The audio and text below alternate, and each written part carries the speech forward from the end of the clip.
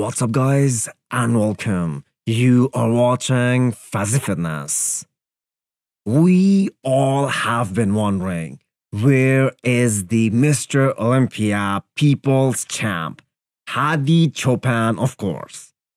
Hani Rambod explained his status like a month ago that he is taking care of his business, taking this time to make sure that his body is rested and recovered for the next season. And today, Hadi Choopan posted a physique update that this marks the starting point of his prep for the Olympia. And he looks pretty damn good. We all know Hadi and his coach went for conditioning at the prejudging of this past Olympia. And they realized that this show is going in a different direction. And in the final, they decided to come in fuller, and he was as impressive as anyone can be. And quite frankly, out of the top three guys, him, Big Ramy, and Brandon Curry he was the most conditioned guy in the final call out. And if he was awarded first place, I don't think a lot of people would have complained. Do you guys think that Hadi Choopan can move up from third place this year because there are younger guys like Nick Walker and Hunter Labrada on his tail? And both of them have already fired up all cylinders. I think they still have a lot of work to do before they catch Hadi because he too has been improving every year. Arnold Classic Peak Week is here.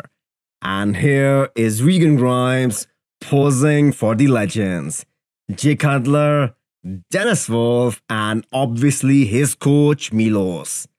Legs are looking dry, upper body definitely full as compared to his last progress picture. He is still on very low carbs right now, so we have to wait till show day because only that half hour on stage matters. As far as Milos's expectations from Regan are concerned, for this Arnold Classic, he himself stated that he can either be in the top three or out of the top five. I was big fan of uh, Regan's physique from uh, you know first time I saw him. Yeah, and uh, you know, like you said, if he puts enough muscle, he's going to be very hard to beat. He is as, as aesthetic as you can be. We all know Milos is a big fan of Regan's physique, but him saying that if Regan gets a chance to stand next to Brandon Curry and gets compared, he might give him a run for his money. That statement, in my opinion, is a little far fetched and unrealistic. Aesthetically, yeah, he should stand next to Brandon Curry. Of course. You know, so if uh, he's uh, full and, and dry, you know, can he beat him? I, I don't know, but he's going to give him run for the money.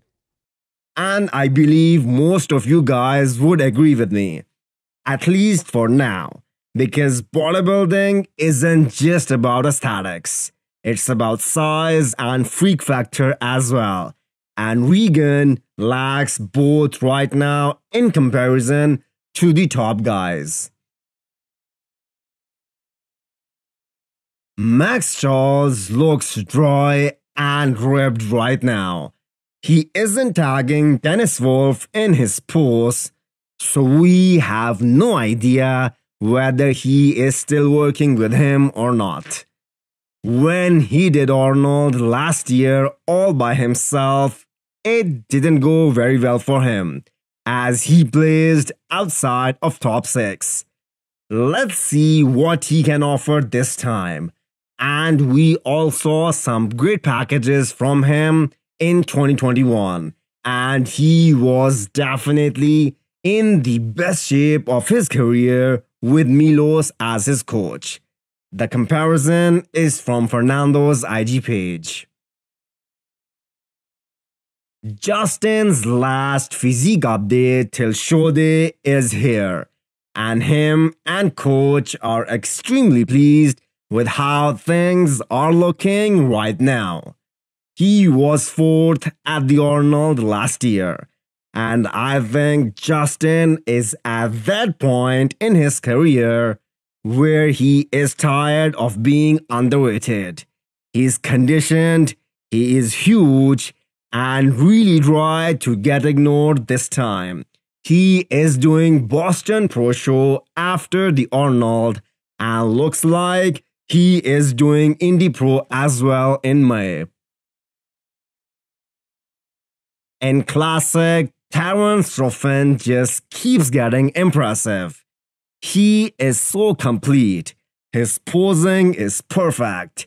He has one of the best pair of legs in that division. Plus, he can stay full and conditioned in the weight making process. So his fullness isn't compromised on stage. If you guys have followed Breon Ansley's prep before, you know he always looks spot on, but how much damage will he be able to sustain by losing another 7 pounds. Let's see what happens in one week time.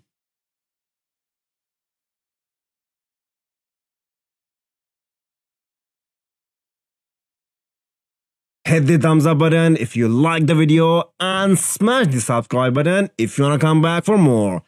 Thanks for watching.